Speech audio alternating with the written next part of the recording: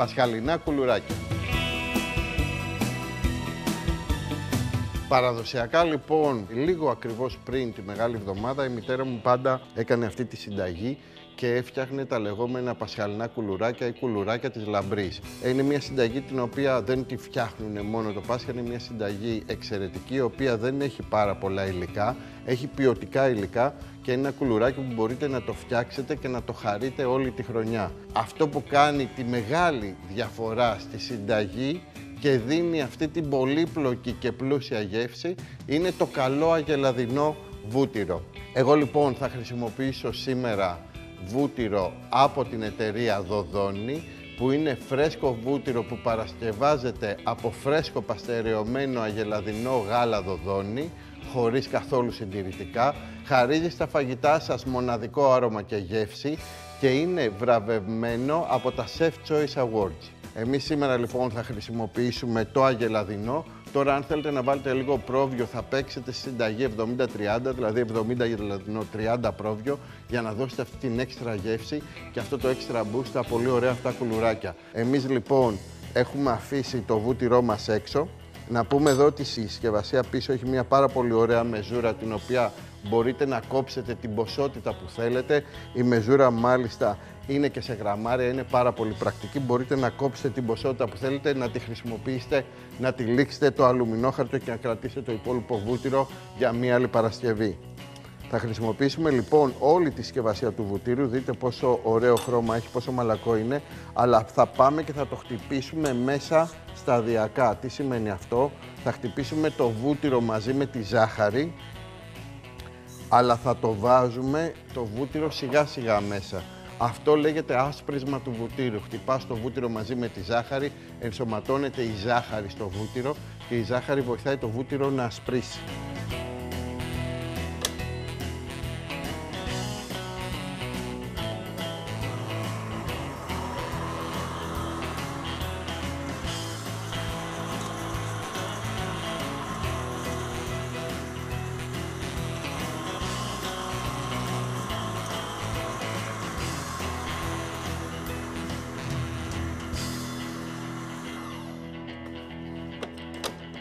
Θέλω να σας δείξω λίγο τι σημαίνει ασπρίζω. Δείτε λοιπόν πως η ζάχαρη έχει ενσωματωθεί με το βούτυρο, έχει ασπρίσει το βούτυρο, το έχει μαλακώσει. Αυτό βοηθάει πάρα πολύ στο να ενσωματωθεί σωστά η ζάχαρη πρώτον και βοηθάει πάρα πολύ στο πόσο ελαφριά, μαλακά και αφράτα θα γίνουν τα κουλουράκια. Εδώ μέσα τώρα λοιπόν θα πάμε και θα βάλουμε δύο κάψουλες από βανίλια. Θα πάμε και θα βάλουμε μία κουταλιά από μπέικι.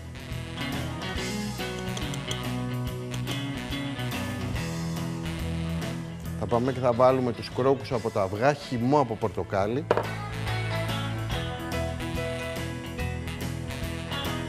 Θα βάλουμε λίγο ξύσμα από λεμόνι λίγο ξύσμα από πορτοκάλι. Τα εθέρια έλαια του λεμονιού του πορτοκαλιού βοηθούν στο να ανεβάσουν την ένταση. Προσοχή όταν ξύνουμε, ξύνουμε μόνο το κόκκινο ή το κίτρινο κομμάτι, ποτέ το λευκό. Θα πάμε και θα ρίξουμε μέσα λίγο κονιάκ, λίγο γάλα. Ξαναβάζουμε λοιπόν τον κάδο στο μίξερ.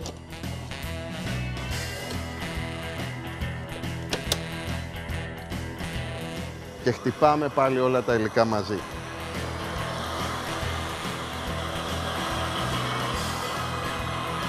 Αφού χτυπήσουμε όλα τα υλικά μαζί, αφού ενσωματώσουμε όλα τα υλικά, πάμε σιγά σιγά τώρα σε χαμηλή ταχύτητα το μίξερ και αρχίζουμε και ενσωματώνουμε μέσα σταδιακά το αλεύρι.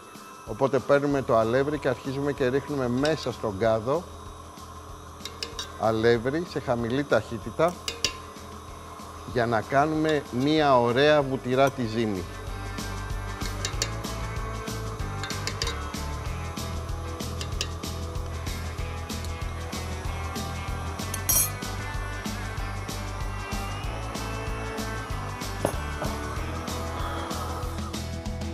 Η ζύμη μας είναι έτοιμη. Θα τη δουλέψουμε λίγο με μία σπάτουλα Θα τη βάλουμε σε ένα γυάλινο διάφανο μπολ. Δείτε εδώ τι ωραία που είναι. Ωραίο χρώμα, ωραίο άρωμα, ωραία υγρασία. Αν θέλετε μπορείτε να τη δουλέψετε λίγο ακόμα με το χέρι σας. Δείτε τι ωραία που δουλεύετε. Δεν κολλάει καθόλου στα χέρια και αυτό είναι το ζυμαρικό. Βγαίνει το άρωμα από το βούτυρο, το βούτυρο βοηθάει πάρα πολύ.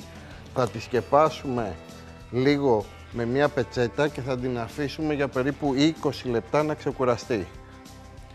Άρα σκεπάζουμε με μια πετσέτα, την αφήνουμε στην άκρη σε θερμοκρασία περιβάλλοντος, δεν θέλει πάρα πολύ ζέστη, δεν θα φουσκώσει, απλά θέλουμε να κάτσει λίγο το οξυγόνο, να ξεκουραστεί η ζύμη μας. 20 λεπτά έχουν περάσει λοιπόν, δείτε τι όμορφη, ωραία και μαλακή που είναι η ζύμη. Μια πάρα πολύ ωραία φράτη ζύμη, μια ζύμη η οποία δεν κολλάει ούτε στο ξυλοκοπής, αλλά ούτε και στο χέρι σας. Αυτό είναι που θέλουμε. Παίρνουμε μετά λοιπόν μικρά μπαλάκια ζύμης. Τώρα τα σχήματα και τα σχέδια είναι πάρα πολλά. Μπορείτε να κάνετε ό,τι θέλετε. Εμένα παραδοσιακά η μητέρα μου έκανε μικρά κουλουράκια τις λεγόμενες πλεξούδες.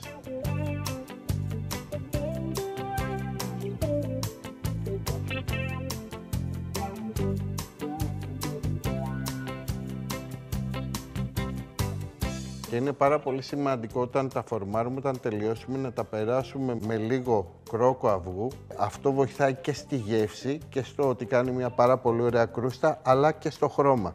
Τα κουλουράκια λοιπόν αυτά θα ψηθούν στο φούρνο Bespoke AI Pro Cooking της Samsung. Μοντέρνα σχεδίαση, επίπεδη πόρτα με αυτόματο άνοιγμα.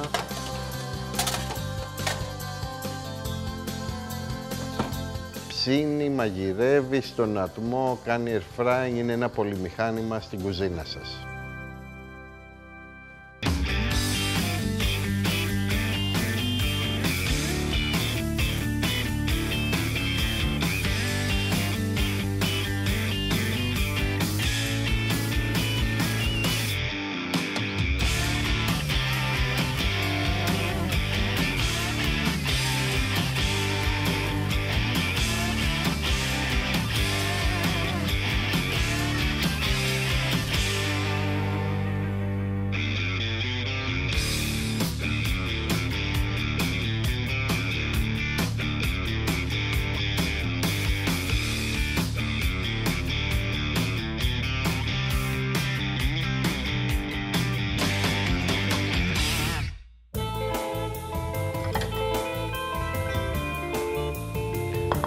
Κουλουράκια μας λοιπόν είναι έτοιμα, 17 λεπτά, 180 βαθμούς, προθερμασμένο φούρνο. Πάμε να δούμε το τελικό αποτέλεσμα.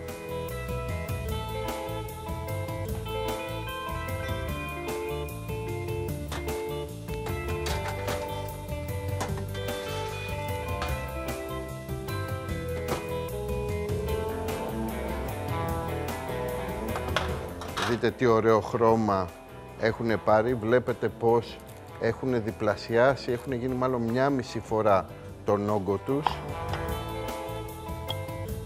Τα βάζουμε σε ένα πάρα πολύ ωραίο πιάτο. Δεν υπάρχουν ιδιαίτερα στισίματα εδώ. Οι μανάδες μας τα αφήνανε να κρυώσει και τα βάζανε, η δική μου τουλάχιστον τα βάζε σε, μια, σε ένα μεγάλο γυάλινο βάζο που το έκλεινα από πάνω και μέχρι την επόμενη μέρα το πρωί είχε αδειάσει όλο το βάζο. Μία συνταγή που γίνεται συνήθως Πάσχα αλλά τρώγεται όλο το χρόνο με λίγα αλλά ποιοτικά υλικά.